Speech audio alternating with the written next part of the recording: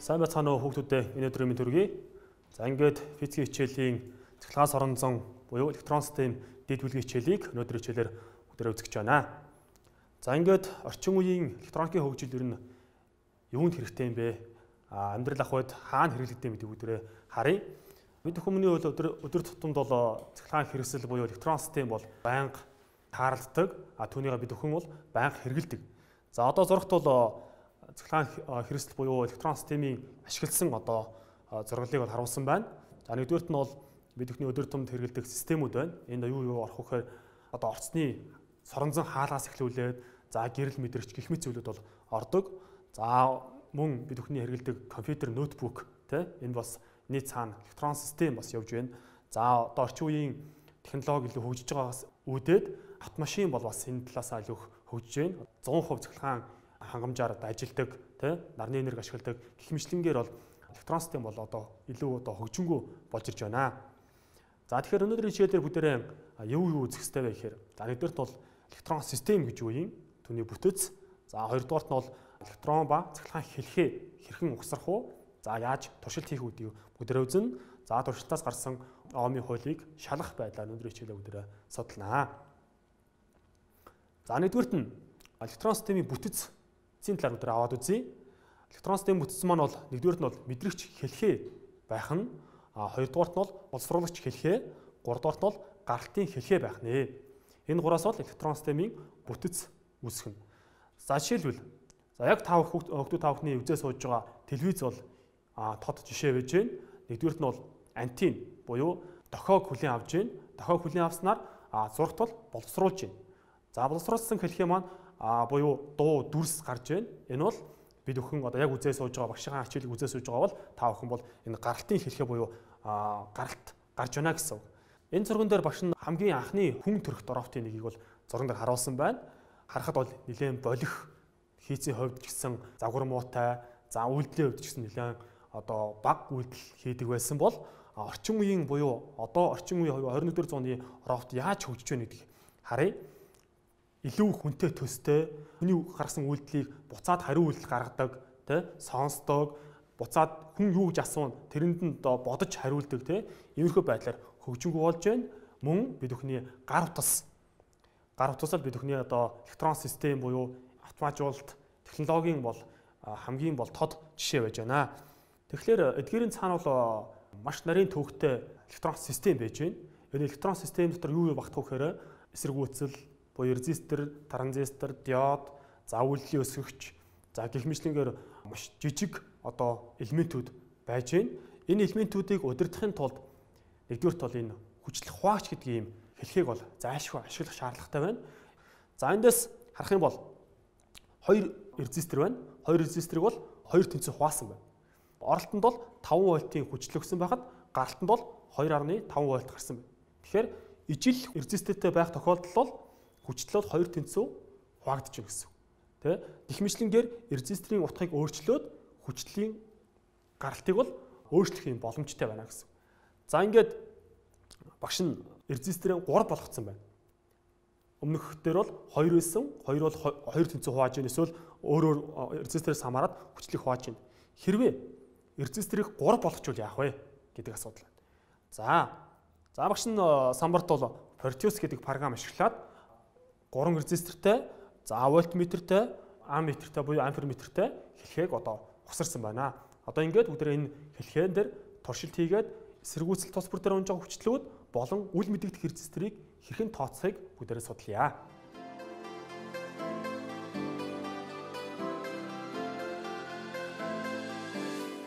Схемийн дагуу холболтоо хий. Холболт хийхэд бол багш нь за багшийн гарт байгаа breadboard байна. За breadboard нь ямар ч зүйл гэвэл цахилгаан одоо элхийг угсархад одоо турших байдлаар ашигладаг юм бол байгаа. За огч нь энэ холболтын тайлбарж өгье. За энэ улаан шугам байна. Энэ улаан шугам бол ер нь бол тэжээлийн нэмэх оролт байна. За хасах шугам бол тэжээлийн одоо хасах шон гэж нэрлж болно. За энэ бол яг цаагаараа үргэлж холбоотой байгаа. Тэгэхээр холболт хийхдээ бол энэ бол цааш цаадлаараа үргэлж одоо холбоотой гэж ойлгоорой. За босоо шугамдаа. Босоо шугамдаа буюу За энд бол агш 1 гэсэн дугаартай байж байна. Энд 1 гэсэн дугаартай. Нэгийн бол цаатлын шугамуд хоорондоо холбоотой гэсэн. Холбоотой. А энэ тест энэ дундуур нь тусгаарлалтай байна. Энэ тусгаарлалт бол дээд лесийг тустаа, доод лесийг тустаа гэсэн. Тэгэхээр эндээс энэ шиг холбож байгаа тохиолдолд заавчгүй утсаар одоо холбож туршлага хийнэ гэсэн. За схемийн дагуу бол багш нь 3 резистор авч үзсэн. Резистор бол энд байж байна. Хоёр нь ижил резистор, нэг нь өөр төрлийн резистор байж байгаа. За багш нь хэлэхэд гурвуулангийн холбоод үзье.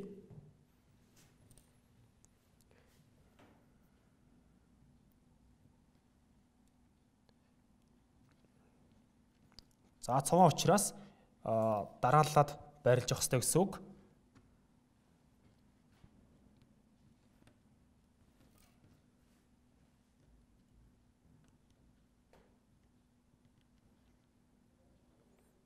За ингээ резисторыг байрлуулсан.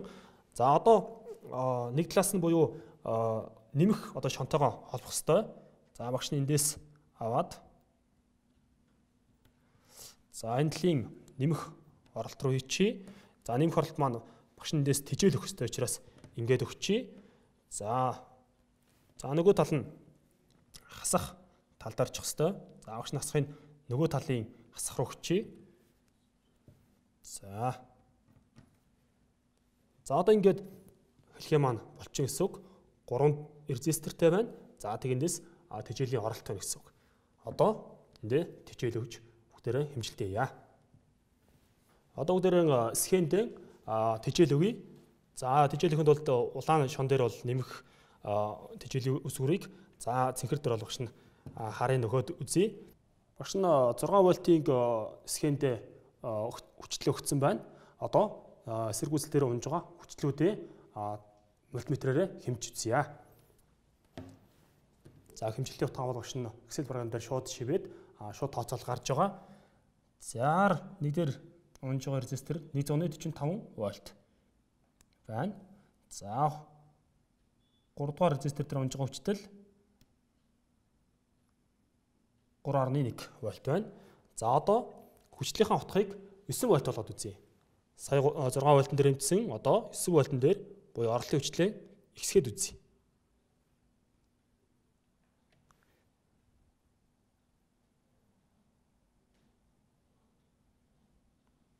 За 9 вольт болгочлоо. Одоо резистор дээрх утгаа хэмжиж авъя. R1 резистор дээр унж байгаа хүчтэл 219 вольт. За R3 дээр унж байгаа хүчтэл 467 вольт байж. За хэмжилтийн утгаа Excel програм дээр шивээд за тооцоолоо бүгдээ хараад үзье.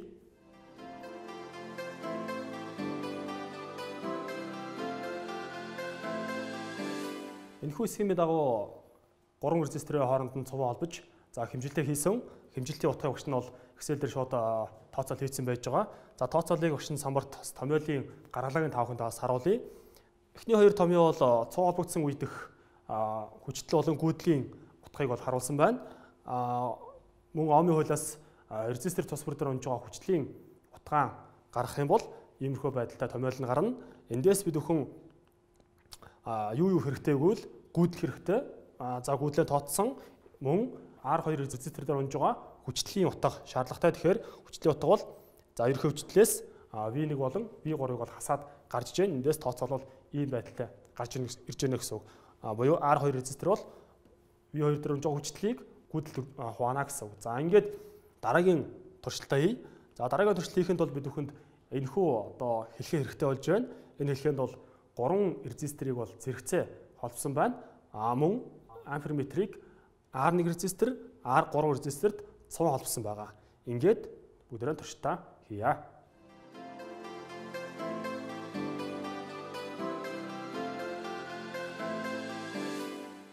За огшны схемийн дагуу хэлхээгээ ухсарсан байна. За хэлхээн дээр бол 3 резисторыг бол зэрэгцээ холбогдсон.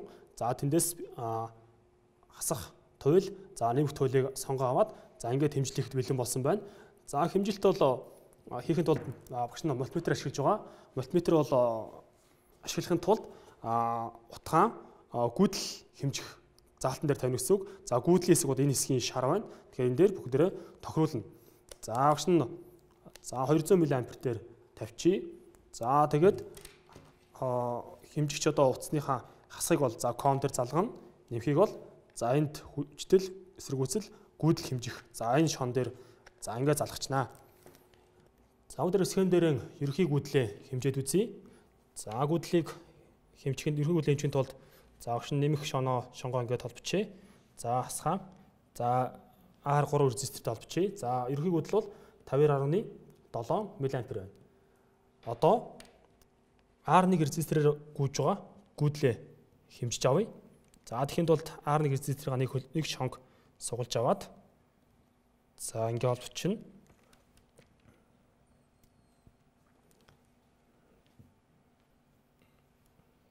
За амжилттай утга бол 27.3 мА байна.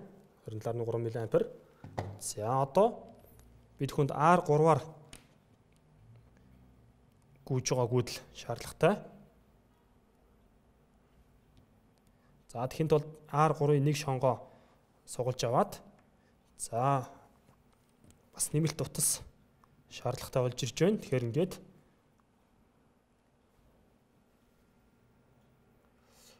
арвар арвны 8 мА.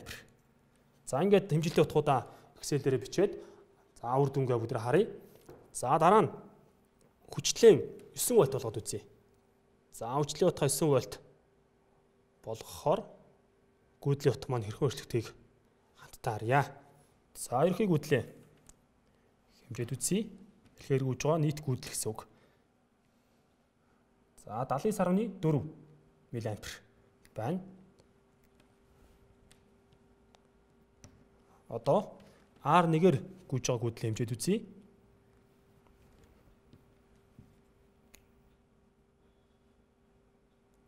41.4 мА байна.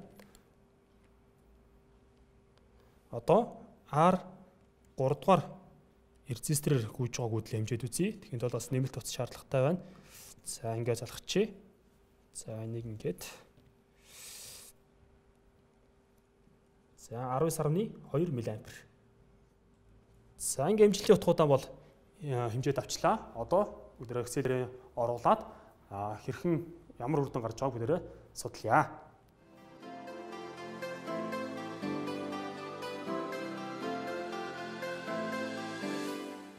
Багш нь схемийн дагуу холболтоо хийгээд за туршилтаа хийчлээ. За туршилтыг хийсний дараа багш нь томжилтынхаа утгыг ашиглаад тооцоол хийцэн байгаа. За тооцоол хийхдээ бол зэрэгцээ холболтын үед бол яаж тооцоол хийсэн гэхээр за томьёоны дагуу буюу энэхүү одоо зэрэгцээ холбогдсон үед бол гүйдэл салгаалдаг гэдэг бол бид бүхэн бол өмнөх одоо ангиуд бол үзсэн байгаа. Мөн зэрэгцээ холбогдсон үед хүчтлүүд тэнцүү гэдгийг бас судалсан. Эндээс ингээд томьёоны гарлаа гэх юм бол нийт гүйдлээс бол R1 резистор болон R3-аар гүйж байгаа гүйдлийг хасах юм бол бид бүхний судлах гээд байгаа буюу R2 резисторыг гүйж байгаа гүйдлийн утга гарч иж байна. Эндээс R2 резисторын утгыг тооцоолоор гаргах юм бол ийм тооцоол гарч байна. За ингээд хоёр хийсэн хэмжилтээ дүгнэх юм бол за нэгдүгээрт бид өхөн цун холбогдсон резисторыг судалсан. За эндээс бид өхөн R2 резисторыг гаргаж ирэх хэрэгтэй байсан. За утга маань бол хэмжилтийн утгаас харах юм бол R2 резисторын утга утга 470.3 ом гэсэн ийм утга гарч иж. За энэ бол бодит утгаас бол 0.3-аар зөрж байна гэсэн. За эндээс аваад үзвэл R1 резистор болон R2 резисторээр унж байгаа хүчтлийн харьцаа бол 0.5 байна. Харин R1 резистор болон R2-ын харьцуулах юм бол бас 0.5 байна. Тэгэхээр энд бол омын хууль бол одоо батлагдж байгаа нүд нь харж байгаа юм, харагдаж байгаа. Дараагийнх нь бол зэрэгцээ холболттой үед. За зэрэгцээ холболттой үед бол бүгдээрээ гүйдэл хэмтэж авсан. Эхний утга бол I1 буюу R1 резисторээр гүйж байгаа гүйдлийг хэмтэж авахад 27.3 байсан. Харин I2-ыг бид нэр тооцоол гаргаж ирэх юм бол 12.6 байж. За эндээс бид хүний хамгийн гол олох ёстой зүйл бол R2 резисторын утгыг олох ёстой байсан. За тооцоолоор бол 476.2 ом резисторын утгатай байна гэсэн. За R1 резисторын утга бол тогтмол буюу 220 ом байж байна. Харин гүйдлүүдийн харьцаа болон эсэргүүцлийн харьцаа бол тэнцвүүд нь батлагдж. За эндээс бол омын хууль бас дахин одоо батлагдж байгаа нь харагдж байна. За тэгэхээр резисторын дээр бол өнгөт кодтой байдаг. Буюу одоо өнгөт өнгөт юм бүслүүхтэй байдаг. За ажиллах юм бол олон өнгийн ийм одоо бүслүүрүүд харагдж байна. За эндээс харах юм бол за энд за боронгтой хар хар за ийм ягаан тэгээд шар өнгөтэй байна. Тэгэхээр резистор бол ийм бүслүүрт ийм өнгөтэй байдаг бахан энийг уншихын тулд за тусгай ийм одоо код уншдаг ийм таблиц байдаг бахнэ. За самбарт 4 бүс 5 бүс 6 бүс гэдэг ийм одоо кодтой резисторыг авсан байна. За нь жишээлбэл 6 бүс кодыг яаж уншихыг тайлбарлаж өгье. За тэгэхээр хамгийн ихний бүс бүсийг бүгдээрээ 100-ын оронгоос харна гэсэн. За самбарт байгаа резисторын утга бол эхнийх бол улаан өнгөтэй байна. Улаан гэдэг бол 2 гэсэн үг. Дараагийнх нь 10-т 10-ын орон. За 10-ын орон маань ягаан өнгөтэй. Ягаан өнгөтэй бол 7 гэсэн үг. За нэгжийн орон маань өнгө нь шар байна. Шар бол 4 байна. Тэгэхээр энэ резистор бол 274 гэсэн утгатай эхнийх нь. За дөрөвдүгээр бүслөр бол үржүүрийн бүслөр. Үржүүрийн бүслөр бол хар өнгөтэй байгаа учраас 10-ын тэг зэрэг буюу 1 гэсэн үг. Тэ 1 ом. За ингээд үржүүлэх юм бол энэ маань 274 гүржих нь 10-ын тэг зэрэг тэг зэрэг буюу 1 тэнцүү 274 гарчиж байна. За ард нэг юм хувь байна. Нэмэх хасах гэдэг. Буюу одоо дараагийн бүслөр буюу улаан бүслөр За улаан бүслэр бол нэмэх хасах 2%. За энэ бол алдаа хэлж байгаа. Тухайн резистор бол тоон утгаасаа нэмэх хасах нь 2%-ийн алдаатай байж болно гэсэн. Энэ бол гаднах температур тий орчноос энэ төр хамаарат бол яг энэ бол тодорхой хэмжээний алдаа заадаг гэсэн. За дараагийнх нь температур энэ эсэргүүцэл тодорхой температурд бас ажиллах юм ажлын горимтой гэсэн. Тэгэхээр энийг илэрхийлж байгаа. За тэгэхээр 6 бүст код бол кодыг ингэж одоо унших нэ. За мөн унших өөр бас аргууд байна. За энэний нэг бол утасны аппликейшн. За шинэ багш нэнд самбарт оруулсан утасны аппликейшн бол resistor calculator гэдэг тав хүн утасны одоо store application storage гэдэг юм уу те ингээд хайх юм бол иймэрхүү одоо resistor-ийн бүслүүр ийм өнгийг одоо нэм унших одоо аргыг аргууд бол одоо зөндөөн байдаг. Тэгэхээр эсэргүүцлүүд бол олон төрөлтэй байдаг. За үүний нэг бол температур мэдэрдэг байна, зай мэдэрдэг байна, мөн гэрэл мэдэрдэг гээд маш олон төрлийн байдаг. За үүний нэг жишээ та бүхний одоо албан байгууллагаар ороход бол нэг юм дулааныг бол буюу биеийн халууныг хэмжиж байгаа. За энэ багж бол энэ багшийн гарт харагдаж байна. За ингээд хэмжих юм бол За температур за 30.4 Цельс гэж хэмжиж байна. Энэ бол огшин самрын температурыг хэмжиж авч байгаа. А дараагийнх нь бол биеийн гадаргууг хэмжих юм термометр байж байна. Эндээ ийм төмөр одоо бариултай. За ингээд нээх юм бол мөн дижитал. Тэгэхээр энд нь хүрэхээр тухайн биеийн температурыг хэмжиж байна гэсэн. Одоогш нь бол гарынх нь гарынхаа алгын температурыг хэмжиж байна. Дунджаар нь 31.6 тай байна. За мөн гэрэл мэдрэгч бас байна. За энэ бол LDR гэж хэлдэг. За энэ резисторыг бас ашигладаг. Одоо багшиг нь одоо бичиж байгаа энэ бичлэг камер болон одоо энэ хажуунаас гэрэлтүүлж байгаа гэрэлтүүлгийг хэмжээг одоо бас тоосч болно гэсэн үг. За ингээд асаагаа тэмчих юм бол 1700 1826 29 орчим люкс байна гэсэн үг. Тэгэхээр машин нөөц одоо тусгаж байгаа гэрэлтүүлэг бол ийм одоо орчим гэрэлтүүлгийн хэмжээтэй байна гэсэн. Гэх мэтлэнгээр энэ одоо эсэргүүцэл болон мэдрэгч төхөөрөмжүүдийг бол электрон систем дээр иймэрхүү байдлаар одоо ашигладаг байх нэ. Ингээд урьд нь гэрээний даалгавар өгье. Гэрээний даалгаварт хоёр хэлхээний R3 резисторын утга болон хүчлэгүүдлийн утгыг тооцож олоорой. За ингээд хүүхдүүд та бүхэн маань хичээл хийсний дараа гараа сайн угааж ариутгаж байгаарай. Хүүхдүүдэд амжилт хүсье.